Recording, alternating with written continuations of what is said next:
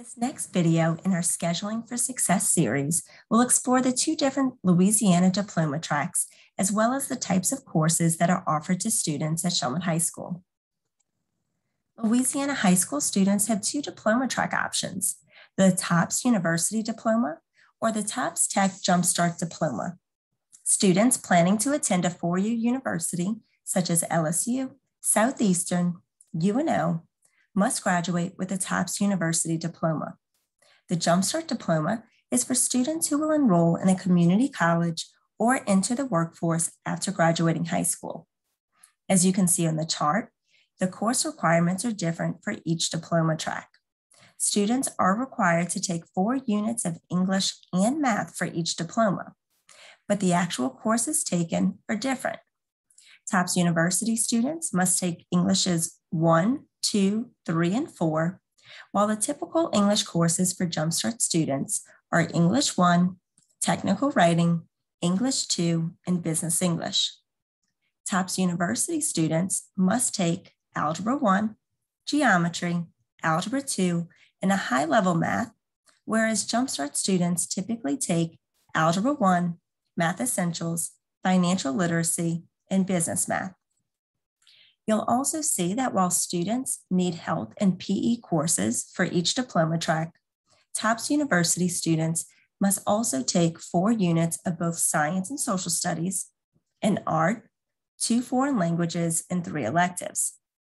Jumpstart students need only two sciences and social studies, and the extra nine courses come from courses in their chosen pathway as a way for students to graduate with courses that will jumpstart their future career. On the scheduling documents, you will see four types of courses, AP, DE, and asterisk, and GT. The AP stands for Advanced Placement. These are rigorous college level courses taken in high school with a chance to earn college credit based on a score on a national exam. These are the only courses at CHS that carry an extra quality point towards students' GPAs. The DE stands for dual enrollment. Students enrolled in these courses receive both high school and college credit through Nunez Community College at the exact same time. Courses with an asterisk are high level courses meant to challenge students in a particular subject area. And the GT stands for gifted. Students with a gifted IEP are serviced through these courses. So, why should students take courses for college credit while you're still in high school? Well, if your goal after high school is to attend a four year university, it's important for you to learn what will be expected of you and develop those skills now. Studies show that students who complete college coursework are more likely to graduate college within four to five years, saving you both time and money in the long run.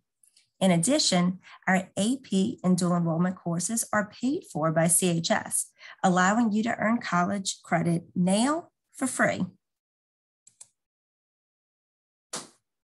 Many of our college level courses are taken on campus here at CHS by one of our high school teachers. There are seven AP courses in a variety of core subject areas. Typically, students take one or two AP courses each year beginning with Human Geography AP their freshman year. One reason to consider taking AP courses is that it does give you that extra quality point towards your GPA. So earning a B in an AP course is the same as earning an A in any other course. Also, out-of-state colleges recognize AP scores and issue college credit for scores of three or better. As you can see, dual enrollment courses are also offered on our Chalmette High School campus in each of the four core subject areas. In addition, we are able to offer foreign language, art, medical, and culinary opportunities to our students. Dual enrollment courses have certain academic requirements in order to enroll. Students must have a 2.5 GPA and show academic excellence through either their transcript, LEAP exams, or the ACT test, ACT test for entrance. You can also see on this chart that we have four courses for our gifted students, physical science, biology, pre-calculus, and fine art survey. Students interested in taking dual enrollment courses on Nunez Community College's campus may do so in the courses and programs on this page. Students must also meet certain requirements for these programs. As you can see, there are quite a few course offerings in the technical areas that allow students to receive hands-on instruction as they work towards an industry-based credential. In addition, some of our students will graduate with an associate's degree the same month they graduate with their high school diploma by completing one of these associate degree programs while in high school. These degree programs require up to 20 college level courses, which are to begin either student sophomore or junior year. So if you're interested in these programs, it's very important that you talk to your counselor as soon as possible. It's also important that on the Google form that you'll soon hear about, that you indicate that you're interested in one of these programs and Ms. LaBeouf, our CTE coordinator and dual enrollment coordinator, will get with you to determine whether or not you're eligible. In the past, we've heard from students that they didn't know that they could enroll in welding because they were a female, or maybe they didn't know that they could take a nursing class because they were male. We want all students to take courses that fit their interest break the stereotype. If you're interested in a certain program, then go for it. Nunez Community College does have certain requirements that Chalmette High School must honor.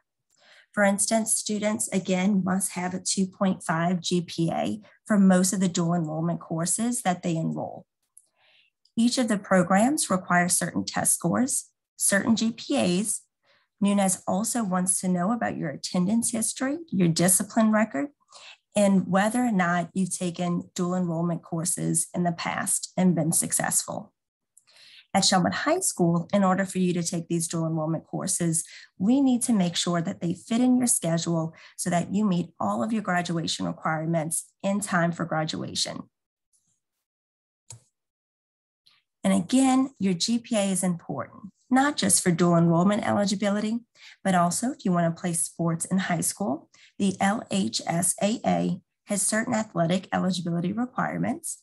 If you're interested in playing sports in college, the NCAA program has certain requirements to meet for eligibility. There's also tons of scholarships out there with GPA requirements. Your high school GPA determines whether or not you graduate with honors or whether or not you graduate on stage as one of our top five graduates. So it's important that you are doing your absolute best in all of your classes and maintaining the best GPA possible. In the next video, we will dive more deeply into each of the diploma tracks and course progressions so that you have all of the information you need to schedule for success.